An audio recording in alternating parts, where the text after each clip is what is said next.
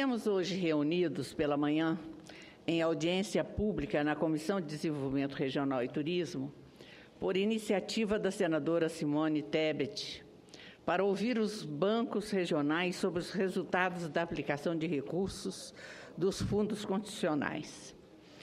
Quero aproveitar este momento aqui para cumprimentar a senadora Simone Tebet pela iniciativa que demonstra mais uma vez seu comprometimento e sua sensibilidade para com os temas de desenvolvimento regional em nosso país, um assunto importante, mas muitas vezes relegado ao segundo plano pelo governo federal.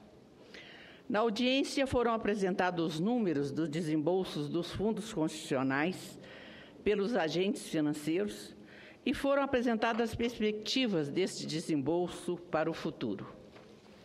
Chamam a atenção os elevados percentuais de utilização dos recursos, bem acima dos 90% em anos recentes, e a baixa inadimplente dos meses, a uma inadimplência apenas de 1%. Ambos são números que corroboram a aceitação e os bons resultados obtidos pelo fundo. Como é do conhecimento de todos, os recursos dos fundos constitucionais, complementados pelos fundos regionais de desenvolvimento, constituem uma parcela importantíssima dos recursos disponibilizados para o financiamento das atividades econômicas com, com potencial efeito multiplicador. Esses fundos geram emprego e renda nas regiões mais necessitadas do país. Somente no FCO são 52,5 bilhões de reais, num total de 908 mil operações contratadas, que geram e mantêm cerca de 5,8 milhões de empregos na região centro-oeste. A esses números se somam os números das demais regiões, tão expressivos quanto os nossos do centro-oeste. Ocorre, senhor presidente, que fomos surpreendidos pela notícia de que o governo, na contramão dos esforços que vimos empreendendo para otimizar os recursos dos fundos, apresentou uma lamentável novidade na proposta de emenda constitucional de, de número 87, que promove a desvinculação de receitas da União até 2023. A DRU tem sido um instrumento importante para as contas do governo. Disso não temos, nós temos plena consciência. A novidade, senhores senadores e senadoras, é que agora o governo entende, estende a desvinculação de receitas também aos recursos destinados aos fundos constitucionais. Essa novidade, senhor presidente, nos deixa todos perplexos. No momento em que discutimos formas para pôr fim à guerra fiscal, para reformar o ICMS, para criar os fundos de desenvolvimento regional de recomposição de perdas, o governo nos surpreende a todos com essa proposta, que é, no mínimo, desrespeitosa. Não é novidade a forma oportunista com que o governo trata os fundos, colocando cada vez menos recursos, deixando que sejam alimentados apenas pelo retorno dos investimentos. Agora, o governo propõe um corte de 30% dos recursos do imposto de renda imposto sobre produtos industrializados destinados aos fundos constitucionais. Reduzir os recursos dos fundos constitucionais é uma afronta aos estados e às regiões, que têm nos fundos a sua única fonte de recursos para promover o desenvolvimento regional. Não há política de desenvolvimento regional no país e o pouco que ainda podemos acessar agora está sob ameaça de contingenciamento. É lamentável e inaceitável.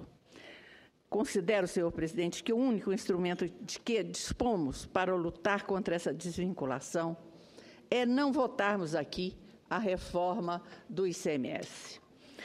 Imagina que todos nós, tanto o Norte, Nordeste como o Centro-Oeste, estamos fazendo um esforço hercúleo para ajudar na construção de uma nova reforma tributária, de uma reforma, principalmente do ICMS. Abrimos mão de todos os instrumentos que dispomos para promover a, a política regional, é, sob a alegação de que a reforma do ICMS vai ajudar o país. Os governadores assinaram um convênio, que é tido como convênio 70, onde nós fazemos a, a, a convergência de alíquota e é criado um fundo de ressarcimento para os estados que, estão, que irão perder com essa reforma. O governo acena também com o Fundo de Desenvolvimento Regional, senadora Simone. Imagina, Vossa Excelência, que tem sido veemente aqui em relação à fragilidade da construção dos fundos. Imagina como Vossa Excelência está sentindo nesse momento em que os fundos constitucionais, que já estão constituídos, que já estão consolidados, sofrem um corte de 30%. Como é que vamos acreditar que os fundos que o governo acena para a reforma do ICMS possa é, é, vir suprir as necessidades de nossas regiões? Portanto, eu acho que eu que fui aqui uma grande defensora da reforma do ICMS, abrindo mão, inclusive, da, das reações negativas do empresariado goiano. Eu entendia que esse, a guerra fiscal faz um mal para todos os estados e para o país. Fizemos um esforço no sentido de esclarecer esses empresários da importância dessa convergência de alíquota demos o voto de confiança para o governo, acenando com a possibilidade de aceitar a construção de um novo fundo. E, de repente, nós somos surpreendidos com esse corte. Eu não posso, em hipótese nenhuma, em nome do meu Estado e da minha região, votar a reforma da, da, do ICMS diante dessa ameaça que é apresentado com essa medida provisória.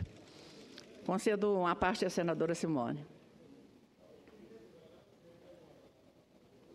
Doutora Lúcia Vânia, antes de mais nada, agradecer a gentileza das palavras, Vossa Excelência sempre gentil com todas as colegas parabenizá-la. Eu já vi a do senador Zé Medeiros a respeito, mas fico muito feliz de estar nesse plenário para poder também fazer uma parte a Vossa Excelência. Vossa Excelência sempre foi uma referência para mim nessa questão do desenvolvimento regional.